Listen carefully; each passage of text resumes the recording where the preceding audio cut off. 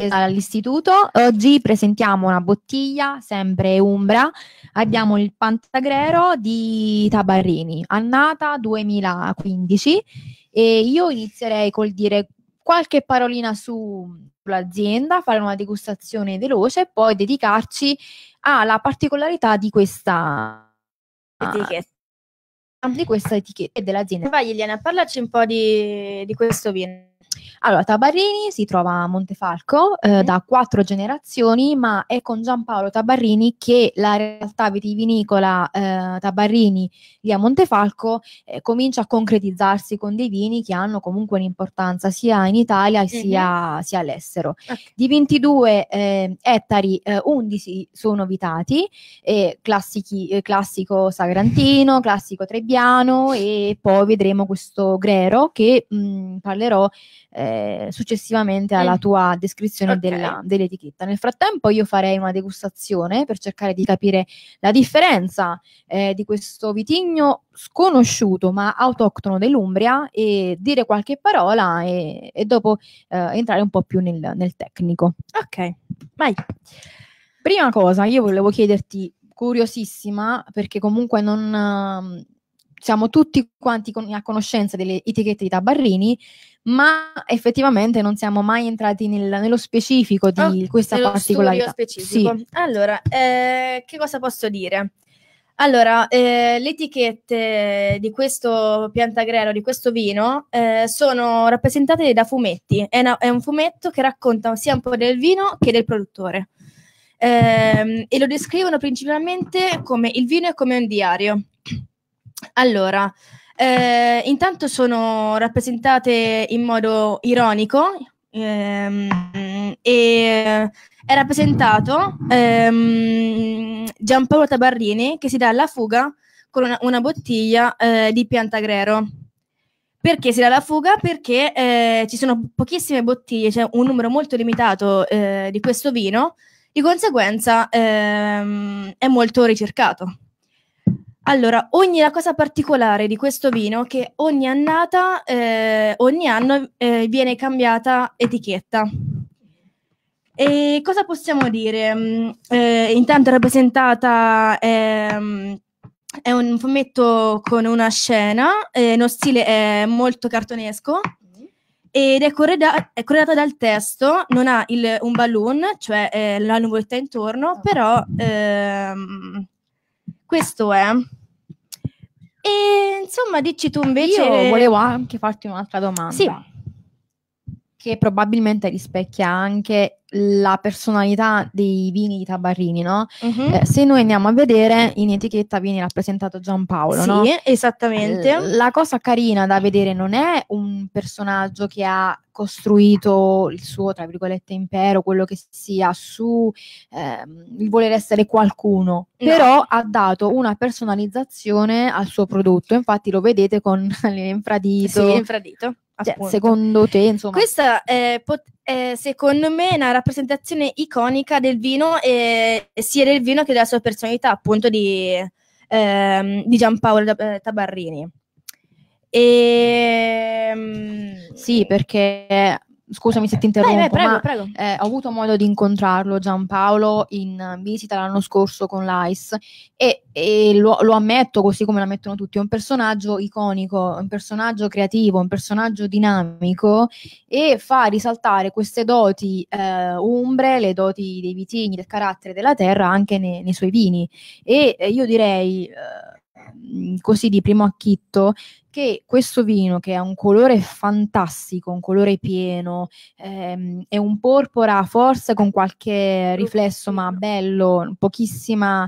Ehm, un po' rubino cupo sembrerebbe, no? Sì, molto, ma molto bello. Mm. E eh, ha la caratteristica di avere tanto fruttato, tanto floreale, quindi è uh, uno di quei vini in cui è presente eh, queste caratteristiche. Infatti non è molto tannico, anzi eh, ha quasi un'assenza di tannino, però questo permette eh, a noi degustatori, a noi insomma bevitori generali, di dare maggiore importanza al fruttato floreale. Infatti abbiamo tanta frutta fresca, potremmo dire, eh, una frutta succosa come un'arancia sanguinella, mm-hmm. c'è un lampone, c'è una prugna c'è ancora uh, fragolline di bosco, è veramente, veramente eh, interessante, fresco eh, al naso. Questa freschezza la si vede anche al, al, gusto olfattivo ed è una caratteristica che permette a questo vino tanta longevità.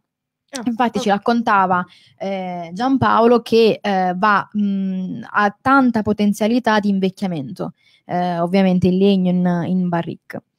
E mh, se mi permetti di dire qualche altra parola in merito? Assolutamente. Perché uh, il grero, pianta grero, il nome del vino, il grero è questo vitigno autoctono uh, umbro sconosciuto che mm-hmm. Giampaolo è riuscito a recuperare nel 2007 quando l'ha scoperto eh, attraverso in una pianta diciamo di una signora lì vicino alle sue cantine ha deciso di andare nei laboratori mm-hmm. e ha scoperto che era questo vitigno autoctono, autoctono autoctono umbro nelle vicinanze eh, che aveva eh, um, di, di, acidità, anche se non sapeva che vino poteva uscire certo. fuori da, questo, da questo grero. E anche eh, saputo di eh, tasse di una di nuova tardiva, di vende- con vendemmia tardiva. Lo piano 7 e abbiamo primo vino nel 2013. Poi, come tu prima hai detto, ci sono state delle annate che sì. mh, mm, sono saltate. Come il 2016, appunto, e ci hanno fatto anche un'etichetta molto ironica su, su questo tema. Sì, sì, è vero, cioè c'è un'etichetta gialla che, eh, dove c'è l'enologo, se non erro, l'enologo e, il, e Giampaolo, sì. tristi eh, per l'assenza di, di, di vendemmia del 2016.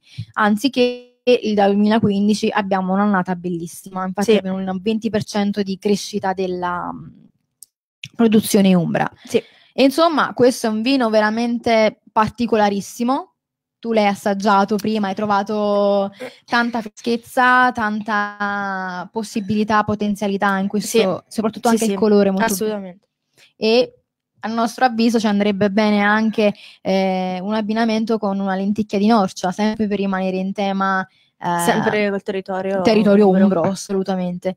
Quindi um, perché abbiamo portato Tabarrini oggi? Perché ci è piaciuta l'idea di avere eh, un vigneron che portava ancora di più la possibilità di, eh, di valorizzare il territorio umbro con le sue scoperte. E la caratteristica della personalità polivalente di, di Giampaolo con le sue fantastiche etichette. Sì, quello non c'è nulla da dire. Allora, eh, dimmi un po' i sapori, andiamo dalle degustazioni del vino, no? Sì, come ti ho detto prima, faccio un altro assaggio. Mm. Mm. Nel frattempo, Manuel ha ah, scritto ah, qualcosa, okay. se leggi sono stati tanti dibattiti mm. sull'origine di questo vitigno. A lezioni di viticoltura il nostro prof Alberto ci ha detto che è stato lui a trovare la pianta madre di 120 anni. Beh, insomma, sì, comunque nel bene e nel male è un vitigno che fa parlare, questa è la cosa importante, cioè parlarne, perché se è un vitigno autoctono e ancora non è possibile trovarlo nei libri, eh, non c'è ancora menzionato, è importante che venga reso noto, soprattutto per la sua eh, freschezza che va a contrastare del Sagrantino, che invece è uno dei, eh, anzi è il vitigno eh, poten- mh, potenza tannica che ha. Quindi eh, il contrastante del Sagrantino, questo Grero, mm. molto So che poi ha vinto appunto il, ah. il, corso, il concorso di Sagrantino appunto Montefalco. Non ah, mi ricordo questo, qual è l'anno. Questo non lo sapevo. Anzi, eh, raccontacelo un pochino. No, cioè, solo ho letto che ha vinto appunto soltanto questo concorso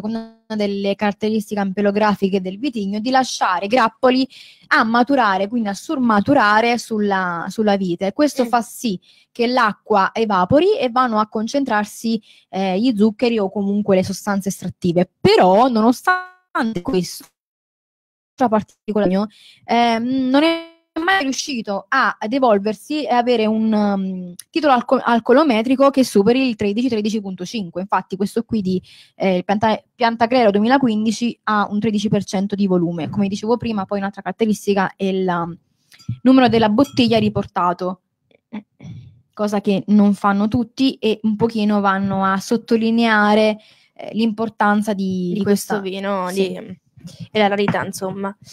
Eh, Io direi che ci siamo. Ok, perfetto. È stata Ehm, interessante. Dimmi. Sì, no, no, eh, niente, volevo sempre ringraziarti di, di aiutarci a noi, comunque gente meno esperta, di... Non sono esperta neanche questo io, però l'importante è bere, ambito? insomma. sì. Ah, quello sempre, va bene.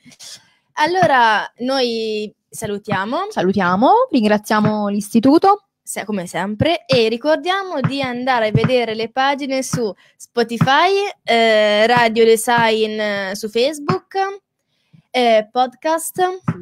E tu vuoi aggiungere qualcosa?